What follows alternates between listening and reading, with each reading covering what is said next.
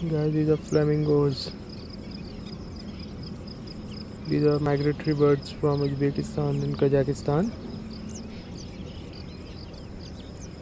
They come here every winter. This is Chandlai Lake, 15 kilometers away from my house on Tonk Road.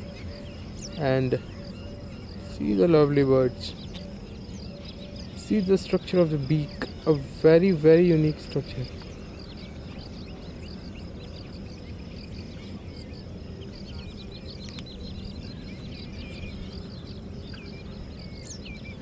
Man.